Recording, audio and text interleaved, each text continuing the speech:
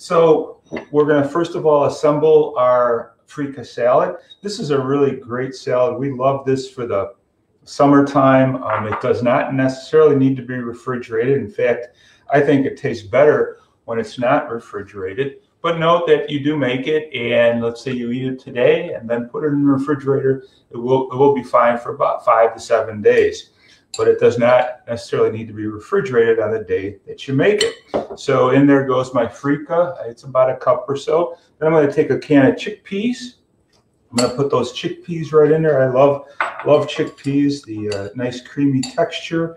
I always save my liquid, my aquafaba. You might recall if you're a follower of our shows back, oh, I think it was in the wintertime, I made a, a whipped cream from the faba, aquafaba. Um, aquafaba is the viscous liquid. It could be used for, as a whipped cream, and you whip it up really with a with a beater, or you could use it as a as an oil substitute. Because all of our cooking, all of the cooks for Food for Life cooks all cook without oil. So um, so I saved that, put it in a little container like this, and put it in the refrigerator. I uh, then have my chickpeas.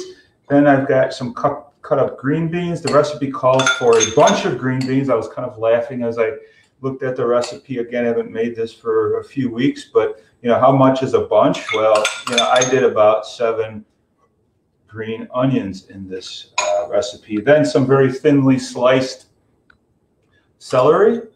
Put that in there. And um, we also want to put three tablespoons of the celery leaves. A lot of times I think people just throw those celery, celery leaves out. They have a little bit more of a citrusy aromatic flavor. This is a very aromatic salad, and we're just beginning to build the aromatics in this salad.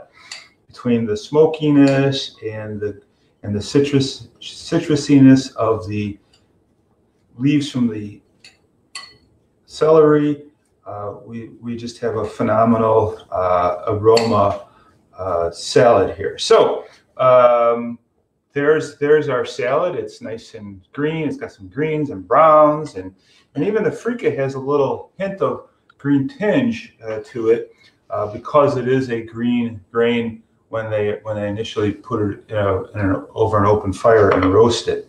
So the next thing I'm going to do is assemble my my dressing. In with my dressing goes about a half a cup of raisins. I'm going to also put about um, a half a cup of almonds in there. Uh, one of the things we want to be careful of as we're eating whole food, plant-based uh, meals is we, we do want to be cautious of the fat, especially if you're trying to lose weight, if you're on a, your initial journey to lose weight. Uh, nuts are higher in fat. They're good. They're good. They're a good source of omega-3 fatty acids. Uh, in fact, we recommend that you do use nuts as a condiment versus sitting there um, like maybe some of us, present company included, used to when I was 40 pounds heavier, sit there with a big bag of roasted almonds. So we don't want to do that because um, that's not healthy. But using uh, almonds as a condiment or in a salad or in a salad dressing adds another another level of crunchiness and another another aroma as well.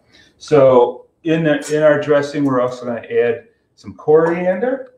And um, then I'm going to do uh, a couple of